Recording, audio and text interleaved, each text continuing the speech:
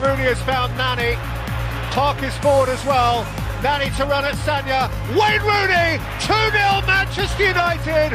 100 goals in the Premier League for Manchester United's number 10. United in the blinking of an eye out of their own penalty area and in seconds finding Wayne Rooney at the other end to double their lead.